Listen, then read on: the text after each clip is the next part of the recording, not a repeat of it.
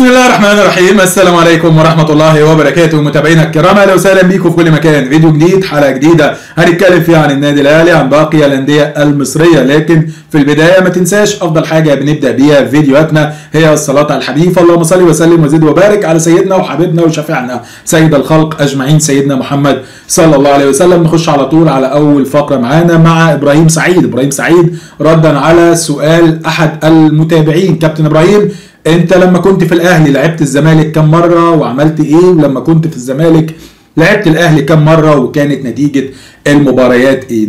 رد إبراهيم سعيد بيوضح قيمة النادي الاهلي. هو هو إبراهيم سعيد هو هو إبراهيم سعيد واحد من افضل المدافعين على الاطلاق في الكرة المصرية.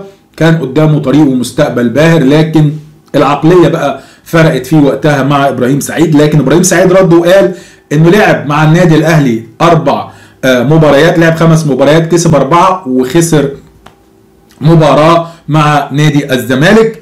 يعني نسبة نجاح 80% مع النادي الأهلي. فيما يخص فترة وجوده في نادي الزمالك لعب أربع مباريات خسر ثلاثة وتعادل مباراة واحدة.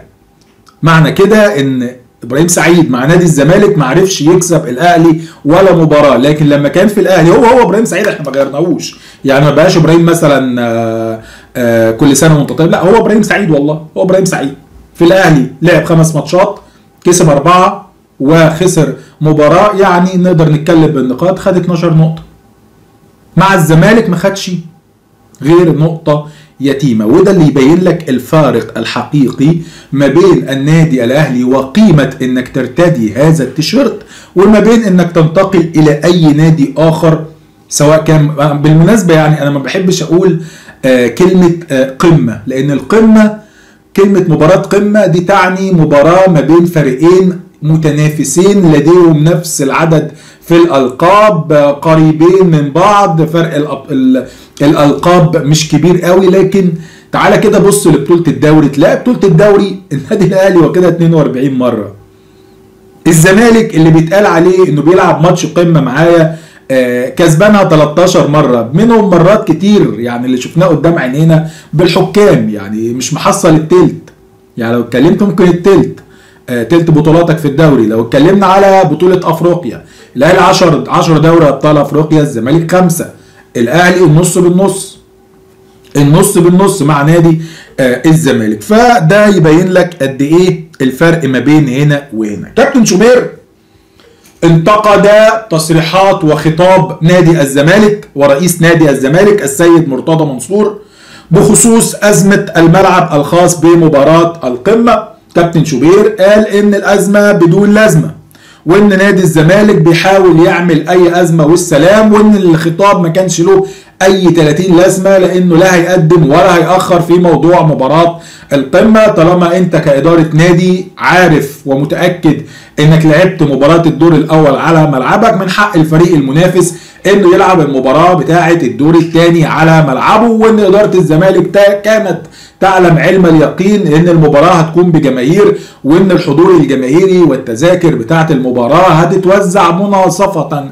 ما بين الأهلي وما بين الزمالك. يبقى كان لازمتها إيه؟ يا عم مرتضى تعمل دوشة وتعمل شوشرة قبل مباراة آه القمة. عايز أقول لك إن العجوز جيزوالدو فيريرا.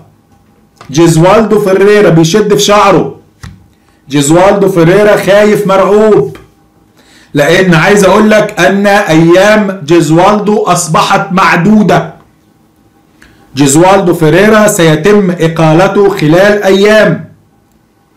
ونتيجة مباراة القمة ستكون سببا مباشرا في اقالة وتوجيه الشكر للعجوز جيزوالدو فيريرا. سبحان الله الاتحاد المصري لكرة القدم اللي خرج رئيسه يتباكى إن مفيش أموال ومفيش دولارات ومفيش حاجة ومديونين لطوب الأرض وعلينا ديون 600 مليون جنيه النهارده الاتحاد المصري لكرة القدم بيعلن بشكل رسمي تعيين الإنجليزي مارك كلاتنبرج كمستشارا للجنة الحكام في الاتحاد المصري لكرة القدم.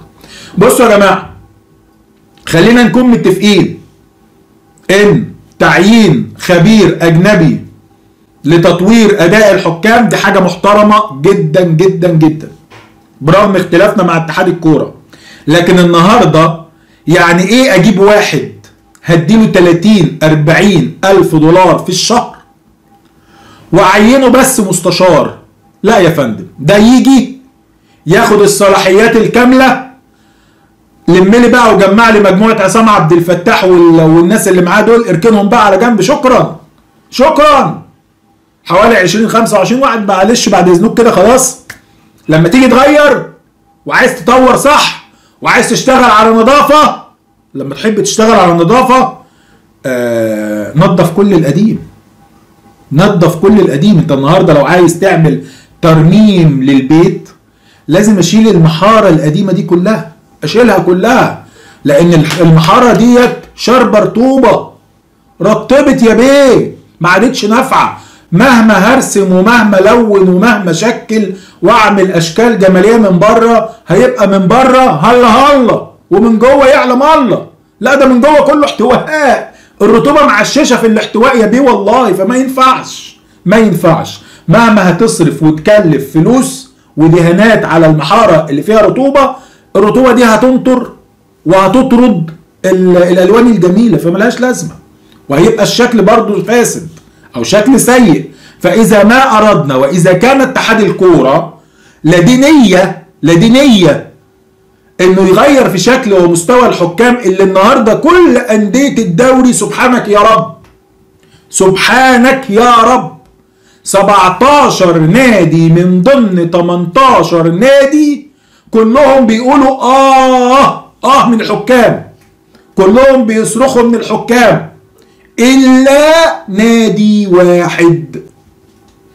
من هو يا بين النادي ده؟ ها؟ من هو؟ نادي الزمالك. نادي الزمالك اللي جمهوره من سنة 48 والله ومن قبل 48 لأن كان في بطولات تانية قبل الدوري قبل 48 منذ أن دخلت كرة القدم إلى أرض المحروسة. وأصبح هناك نادي المختلط وثم الملك فاروق ثم ثم ثم ثم وصولا إلى المسمى نادي الزمالك. وجماهير هذا النادي العريق يتشدقون دائما إن الحكام ضدنا الأهلي الفارق الرهيب في البطولات ده ده بسبب الحكام المصريين. فلما تيجي أنت كنادي أهلي تطلب حكام أجانب يقول لك لا. لا أهلي لا. حكام أجانب لا. مش عايزين. إحنا عايزين الحكام المصريين. إحنا بنحب الظلم بتاع الحكام المصريين. إحنا بنحب الاحتواء بتاع عايزين حد يحتوينا. عايزين حد يحتوينا. النهارده يعني أنا ما أعرفش أحمد مجاهد. أحمد مجاهد لما قدم استقالته قال لك أنا خلاص خلاص.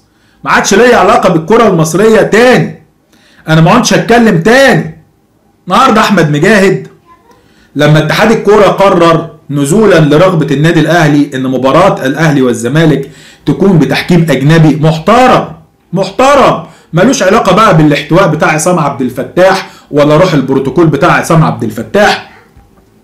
خرج علينا أحمد مجاهد بجملة أضحكتني وكادت أن تميتني من الضحك.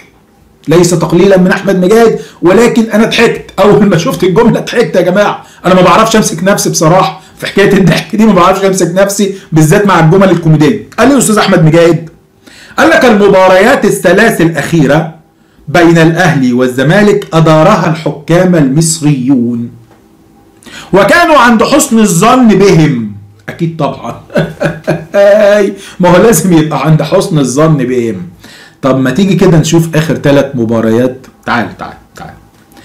هفكرك بآخر ثلاث مباريات يا بيه عشان أعرفك هم كانوا عند حسن الظن حسن ظن أحمد مجاهد واللي ورا أحمد مجاهد ولا لأ. المباراة الأولى كانت في ظل غياب عدد كبير من نجوم النادي الأهلي قدر بست سبع لاعبين. وحكمت هذه المباراة بتحكيم من محمود البنا. واحد من أفضل الحكام المصريين على الإطلاق. وبالفعل فاز النادي الأهلي بهدفين مقابل هدف. ولكن ولكن استنى! اوعى تروح بعيد. اوعى تغمض عينيك. أحب أذكرك وأذكر نفسي إن في المباراة دي في الدقيقة حاجة و80 الزمالك اتحسب له ضربة جزاء من الهواء. آه والله العظيم. المباراة موجودة روحوا اتفرجوا عليها. حاولوا يحتووا نادي الزمالك وادوا له ضربة جزاء. ده الكلام ده السنة اللي فاتت مش بعيدة يعني. مباراة الدور الأول الأهلي متقدم 2-1 سيف الدين الجزيري رمى نفسه ضرب الغطس. هوب! صفر! ضربة جزاء. بلن! يا كابتن بنا فاش حاجة. لا بلن! ده الزمالك ولد! انت عايز الزمالك يروح زعلان؟ لا لا لا لا. إحنا نطلع يا اخوات وحبايب في الماتش ف 2 2 بقى وخلاص. يلا. وانبرى لها ابننا تقريبا كان محمود علاء وضيع ضربة الجزاء. كان علي لطفي حارس المرمى في المباراة دي. وفاز الأهلي 2 1 بالرغم من ضربة الجزاء دي.